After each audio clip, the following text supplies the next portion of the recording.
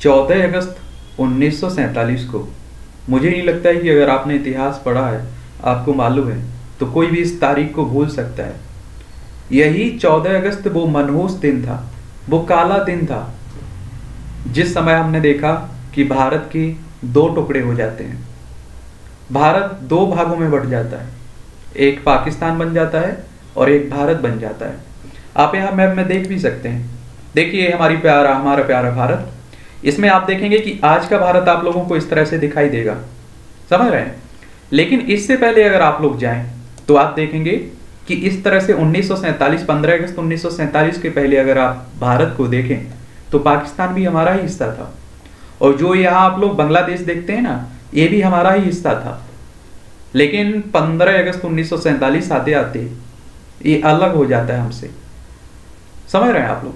और कई षड्यंत्रों के कारण ही ये परिणाम सामने आया था।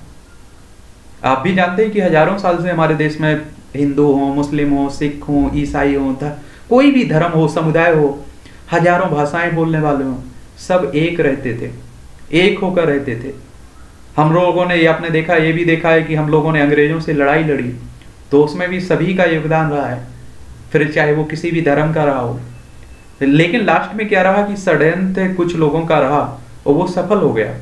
और वो दो हिस्से में बांटने में भी सफल रहे। अगर आप सोचिए कि आज अगर हमारे अंडर में पाकिस्तान होता या बांग्लादेश होता तो आप समझिए हम लोग कितने मज़बूत होते। यहाँ आप देख सकते हैं। हम आज यहाँ देखते हैं छोटा सा रास्ता है हमारे पूर्वी भारत में जाने के लिए, जो बाकी राज्य हैं आपके। यहाँ आप देखते हैं कि हम लोग यहाँ से जाते हैं, अगर हम लोगों को यहाँ अफ़गानिस्तान जाना है, या आप समझिए और भी बाकी देशों में जाना है तो यहाँ से हम लोग ईरान होते हुए जाते हैं। अगर हमारे पास पाकिस्तान होता तो हम आसानी से यहाँ से जा भी सकते थे। कई परियोजनाएँ भी हम लोग जाने के लिए यहाँ आपने देखा है कि चला रहे हैं। खैर कारण आपसे पूछे जा सकते हैं। आपकी चाहे यूपीएससी प्रीलिम्स हो, मुख्य परीक्षा हो, या स्टेट पीसीएस हो स्टेट पीसीएस मुख्य परीक्षा हो उनमें इस तरह के क्वेश्चन आते रहते हैं कि 15 अगस्त के, आप देखिए 15 अगस्त को आज़ादी, स्वतंत्रता दिवस के रूप में भी तो मनाते हैं। अब 14 अगस्त को आप लोग विभाजन विविधिका स्मृति दिवस के रूप में भी मनाएँगे। तो आपको दो चार पॉइंट इसके बारे में मालूम होना चाहिए कि इसके कारण क्या क्या रहे हैं। समझ रहे हैं? भारत पाकिस्तान के बंटवारे के कौन कौन से कारण उसके लिए जिम्मेदार थे? तो इसे हम लोग एक एक करके देख लेते हैं। यहाँ आप देख सकते हैं पूरा भारत अगर आज इस समय अगर भारत पूरा हिस्सा होता हमारे पास, बांग्लादेश हो या फिर पाकिस्तान हो तो इस तरह रहेगा। पहले आपको मालूम होना चाहिए कि ये ईस्ट पाकिस्तान हुआ करता था बांग्लादेश। जो आप जानते हैं कि 1971 में बांग्लादेश के नाम से एक नया देश बना था। आपने देखा होगा कि 1971 में हमारी और पाकिस्तान की लड़ाई हुई थी, भारत पाकिस्तान की। इंदिरा गांधी के समय की बात कर रहा हूँ मैं। तो इस समय आज़ाद होकर एक नया बांग्लादेश आपका बना था। पहले ये पाकिस्तान का हिस्सा हुआ करता था। तो इसके बारे में हम लोग एक एक करके सभी पॉइंट बता देता हूँ आपको। तो आप देखेंगे इसमें कि भारत में आप सभी को मालूम है। इससे तो मुझे लगता है कि कोई नहीं नकारेगा कि भारत में विभिन्न धर्मों का एक साथ होना हमारी एकता का प्रतीक है। और आज भी तो आप देखते हैं, हो सकता है कि आपको प्रधानमंत्री पर भरोसा ना हो। आपके नेताओं पर भरोसा ना हो। लेकिन आज भी देखते हैं कि हिंदू हो, मुस्लिम हो, सिख हो, ईसाई हो, बौद्ध हो, कोई भी समुदाय हो, धर्म समुदाय हो, और आप देखते हैं विभिन्न जाति किस तरह से बटी हुई हैं। विभिन्न भाषाएँ बोली जाती हैं। फिर भी हम लोग एक हैं अभी भी। आप कह सकते हैं कि कई इस्लामिक देशों से अच्छी स्थिति में हमारे यहाँ मुस्लिम भी हैं। उन्हें भी काफ़ी अधिकार मिले हुए हैं। आप सभी देखिए, किसी भी से पूछ लीजिए भारत के किसी भी नागरिक से, वो कहेगा, हमें संविधान पर भरोसा है। और कहा जाता है कि भारत में सांप्रदायिकता का बीज अंग्रेज़ी सरकार नहीं बोया था। और आज भी आप लोग देखते हैं कि ऐसे कई आपको नेता मिल जाएँगे, चाहे हिंदुओं में हो या किसी भी धर्म में हो, मुस्लिम में हो, कि इस तरह का षड्यंत्र करते रहते हैं, धर्मों को आपस में लड़ाते रहते हैं। और इसी तरह का आप देखेंगे, आज़ादी के पहले भी कुछ षड्यंत्रकारी तत्व थे। फिर चाहे वो नेताओं के रूप में रहे हों, या फिर अंग्रेज़ों के रूप में रहे हों, प्रोफेसर अब्दुल मस्जिद खान ने इसके अनेक प्रमाण अपनी पुस्तक commune, communism in India, its original and growth में दिए हैं। इस पुस्तक को भी याद रख सकते हैं, आप लोग कहीं आंसर लिख रहे हो तो आप लोग वहाँ भी इस पुस्तक का भी उल्लेख कर सकते हैं। 1947 में आप देखेंगे भारत के विभाजन का सबसे प्रमुख कारण अंग्रेज़ों के षड्यंत्र और मुस्लिम लीग की सांप्रदायिकता की नीति थी। और अधिकतर आप भी जानते हैं कि अधिकतर लोग जिन्ना को भी इसके लिए जिम्मेदार ठहरा देते हैं। लेकिन आप लोगों को एक पक्ष नहीं देखना है। आपको सभी पक्षों को देखकर ही आंसर लिखना होगा।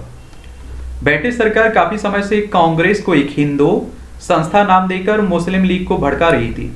यानी कि जो आप अठारह में कांग्रेस की स्थापना हुई थी ना, अंग्रेज़ों ने इस तरह का दिखावा शुरू कर दिया कि जो कांग्रेस है, हिंदुओं की पार्टी है, और मुस्लिमों को डराना, एक तरह से उनके अंदर भय पैदा करना, इस तरह का षड्यंत्र किसने किया? अंग्रेज़ों ने। ब्रिटिश सरकार के द्वारा पारित किए गए सभी एक्ट सांप्रदायिकता पर आधारित रहे थे। एक तरह से आप देखिए कि अभी भी आप देखते हैं, एक धर्म को दूसरे धर्म से लड़ाने में काफ़ी हद तक ये नेता सफल भी हो जाते हैं। तो ये भी अंग्रेज़ों ने उस समय किया कि आप देखिए कि एक धर्म को आप लोग कुछ सुविधाएँ दे दीजिए, दूसरे धर्म को ना ना दिए। अपने आप दोनों धर्मों में खाई बढ़ जाएँगी। इसीलिए आप देखते हैं कि अंग्रेज़ जो भी एक्ट पारित करते हैं, उसमें आप देखते हैं कि मुस्लिमों के मतदान की बात हो, चुनाव लड़ने की बात हो इस तरह की आप देखिए कि बातें करते रहते थे। यानी कि और ज़्यादा खाई बढ़ाते रहते थे। 1947 का भारत विभाजन भारत की अत्यंत ही दुखपूर्ण घटना थी और सदियों तक साथ साथ रहने के बाद भी हिंदू, मुसलमान अपने धार्मिक मतभेदों को मिटा ना सके और अंग्रेज़ी शासन ने इस सांप्रदायिकता की भावना को निरंतर बढ़ावा दिया और अंग्रेज़ों ने फूट डालो और शासन करो की नीति को अपनाया। मैं बार बार बोल रहा हूँ कि आज के नेता भी, कुछ नेता भी आपके राज, फूट डालो, राज शासन करो की नीति अपना रहे हैं। समझ रहे आप। तो ये हाल है। और याद रखिए, कई लोग क्या करते हैं कि गांधी जी को डायरेक्ट जिम्मेदार ठहरा देते हैं कि पाकिस्तान के बंटवारे में गांधी जी का हाथ था। तो मुझे लगता है कि वो वही लोग हो सकते हैं जो या तो व्हाट्सअप यूनिवर्सिटी या फेसबुक यूनिवर्सिटी से इतिहास पढ़ते हैं। यहाँ एक उदाहरण आपको दे देता हूँ। मान लीजिए एक परिवार के आप मुखिया हैं। उस परिवार में सुबह शाम लड़ाई चल रही है। समझौता की कोई गुंजाइश नहीं है तो आप क्या करेंगे? आपके सामने क्या ऑप्शन होगा? आप तो यही चाहेंगे उस परिवार के मुखिया होने के नाते कि दोनों परिवार अलग सभी सदस्य अलग होकर अपने सुख से रहें। तो आप सभी जानते हैं कि 1947 तक किस तरह से दंगे हो रहे थे? किस तरह से मारकाट चल रही थी। और आप देखते हैं गांधी जी ने इसे अंत अंत तक स्वीकार नहीं किया था। उनके पास कोई रास्ता भी नहीं था। तो आप लोगों को बड़े ध्यान से पढ़ना होगा। और आप लोग जब व्हाट्सअप यूनिवर्सिटी या फेसबुक यूनिवर्सिटी से जुड़ जाते हैं तो आपकी सोच भी वैसे ही हो जाती है। अगर आपको किसी भी किसी भी घटना को देखना है तो आपको निष्पक्ष होकर देखना होगा। आपको उसमें कुछ कमियाँ भी दिखाई देंगी, उसमें कुछ अच्छाइयाँ भी दिखाई देंगी। अगर आप लोग कंट्रोल अपने आप को एक जगह फ्री मतलब किसी के पक्ष में ना देखें, तब। और वैसे तो आप देखें कि एक पक्ष को अगर आप लोग उसकी भक्ति करने लगते हैं तो उसमें बुराइयाँ तो आपको दिखती ही नहीं है। अच्छाइयाँ दिखती रहती हैं। खैर, छोड़िए अपना काम नहीं है। विभाजन किसी देश की भूमि का नहीं था, बल्कि वहाँ रहने वाले समस्त नागरिकों की भावनाओं का ही, का भी था। क्योंकि आप जानते हैं कि उन्नीस सौ सैंतालीस के पहले आप देख लीजिए हमारी स्थिति क्या थी। हम जहाँ भी आपने देखा है कि लड़ते थे तो एक होकर लड़ते थे। और यही एकता अंग्रेज़ों को उस समय आप देखिए कि देखी नहीं जा रही थी। और आप देखिए कि वो जहाँ धर्म लड़, एक धर्म दूसरे से लड़ता रहे, मुझे नहीं लगता है कि वो देश कभी तरक्की कर सकता है। इसी में हम लोग उलझे रहेंगे। तो मुझे लगता है एकता में ही सब कुछ है। और माउंट लॉर्ड माउंट बेटन ने भारत से आकर यह अनुभव किया कि कांग्रेस एक संयुक्त भारत का निर्माण और मुस्लिम लीग विभाजन चाहता है। कांग्रेस और मुस्लिम लीग दोनों में समझौता करना संभव नहीं था। कांग्रेस तो चाह रही थी कि एक भारत रहे। कांग्रेस के जो पॉलिटिशियन जो नेता थे वो भी चाह रहे थे कि ए, एक रहे भारत अखंड भारत रहे एक तरह से। लेकिन मुस्लिम लीग था। ये अब नए एक नए देश की मांग कर रहा था।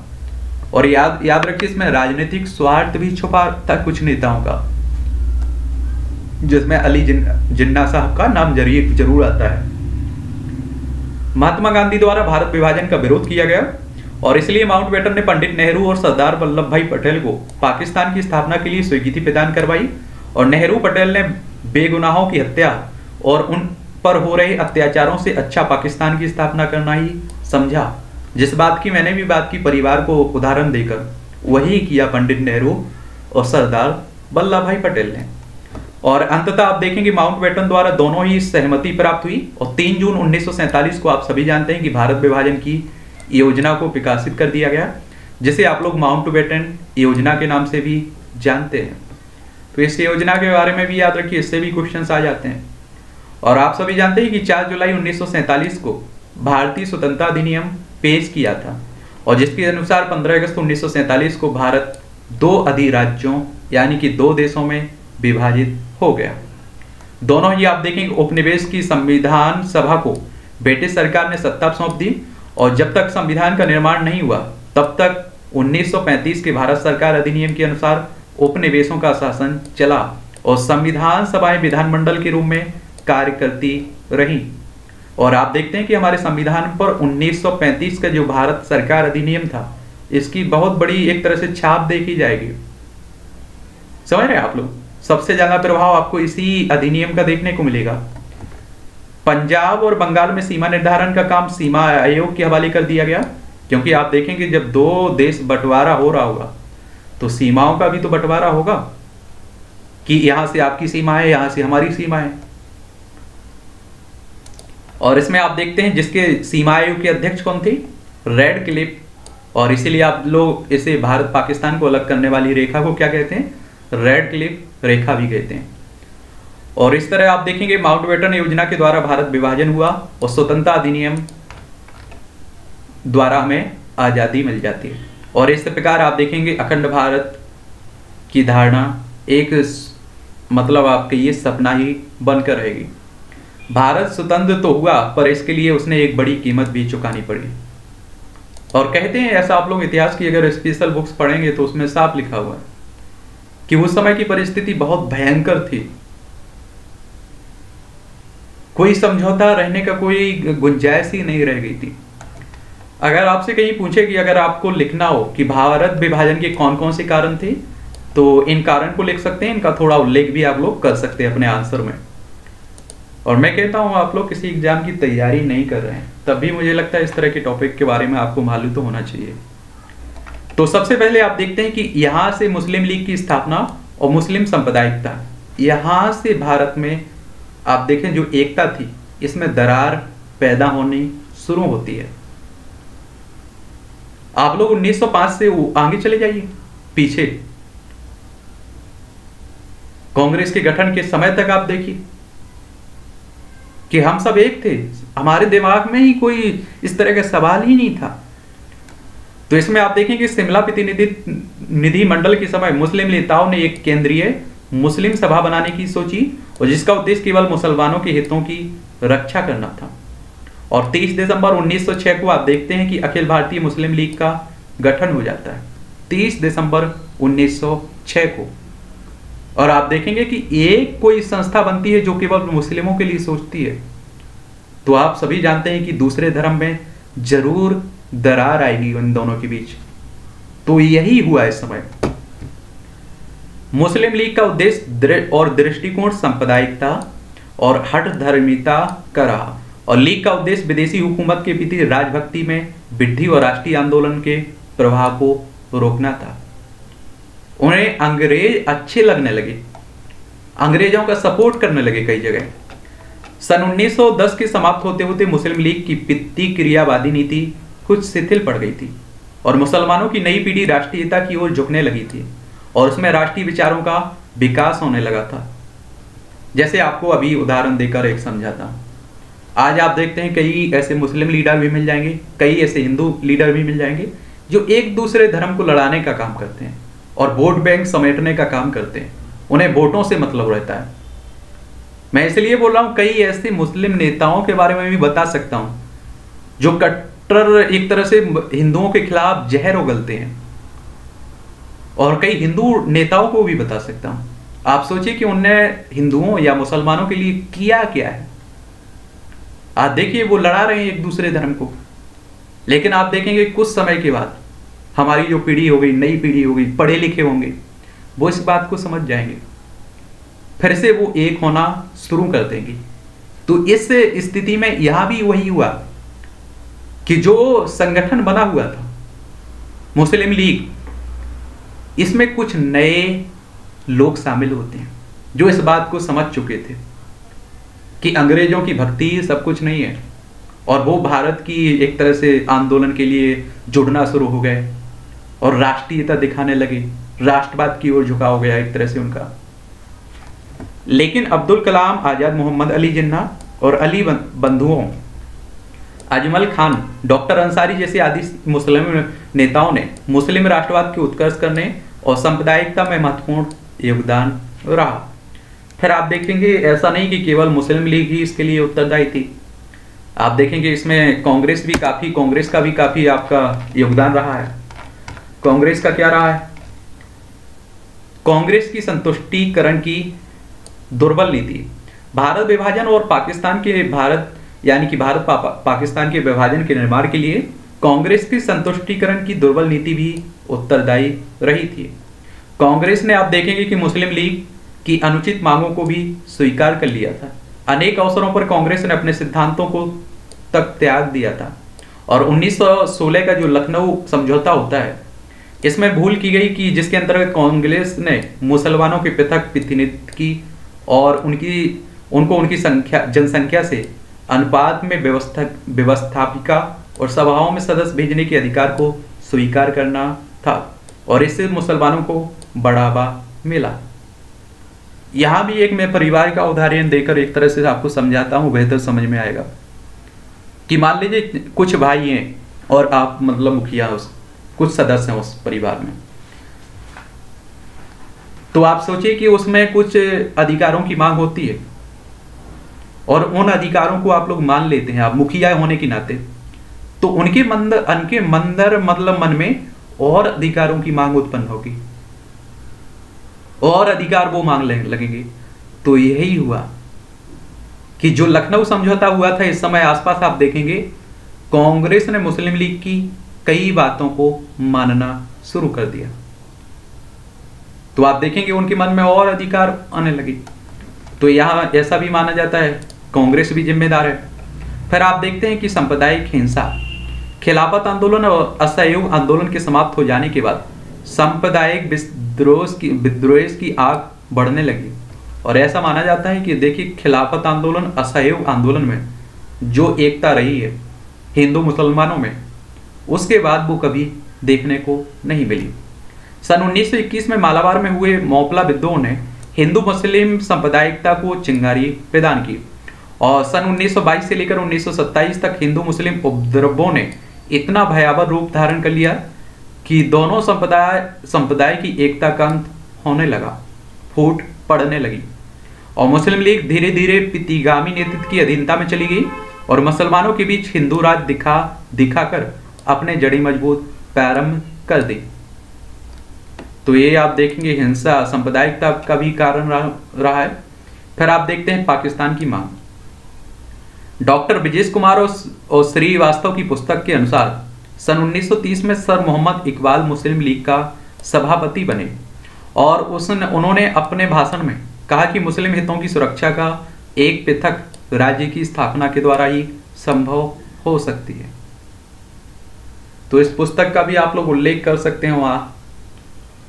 तो इसमें क्या मतलब है कि आप देखिए कि मोहम्मद इकबाल मुस्लिम लीग के सभापति बनते हैं, एक तरह से अध्यक्ष बनते हैं। और इन्होंने सीधा सा कह दिया कि अब मुस्लिमों की रक्षा या उनके हितों की सुरक्षा, उनके अधिकारों की रक्षा, इससे हो सकती है कि उन्हें अलग देश बनाकर दे दिया जाए। तो इस, यहाँ से आपको साफ़ दिखाई दे रहा है कि यहाँ से हवा और तगड़ी शुरू होती है। और इकबाल ने उन सभी मुसलमान बुद्धिजीवियों को गंभीरता से प्रभावित किया, जिन्होंने पाकिस्तान बनाए जाने की मांग की। यद्यपि इकबाल ने पाकिस्तान शब्द को जन्म नहीं दिया था। इस बात को याद रखिए, कई बार आपका वनडे एग्ज़ाम में इस तरह का क्वेश्चन पूछ लिया है। पाकिस्तान शब्द की बात करें तो सर्वप्रथम प्रयोग लंदन में। कैम्ब्रिज विश्वविद्यालय के एक विद्यार्थी चौधरी रहमत अली और उनके तीन साथियों ने जनवरी 1933 में प्रकाशित किए गए छोटे पैम्पलेट, अब या फिर कभी नहीं।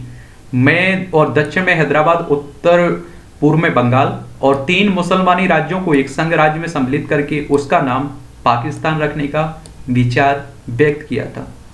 तो इस व्यक्ति को भी याद रखिए, उन्होंने दिया था चौधरी रहमत अली ने, क्योंकि मैंने देखा है कि एमपीपीएससी में शायद प्रीलिम्स में एक बार क्वेश्चन आ चुका है और भी कई परीक्षाओं में।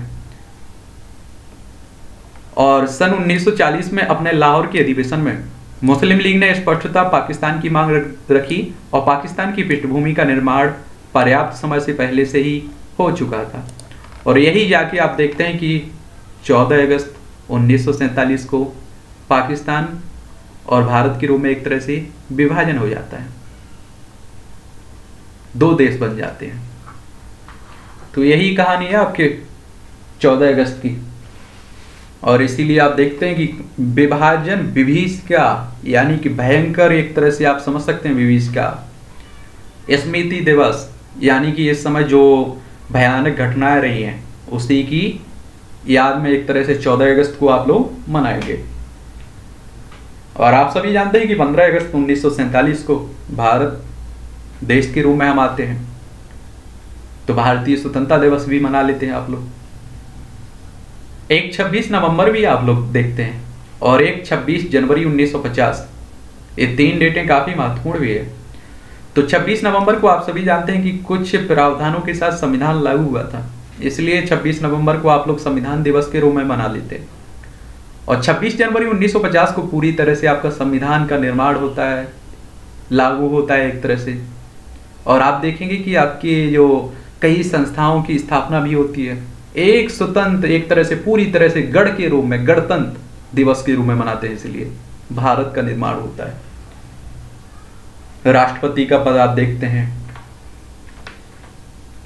चलिए तो इसके बारे में भी याद रखिए। इस तरह का कोई टॉपिक हुआ करे तो बताया करिएगा, उस पर भी बात करते रहेंगे। पंद्रह अगस्त पर भी बात करते रहेंगे।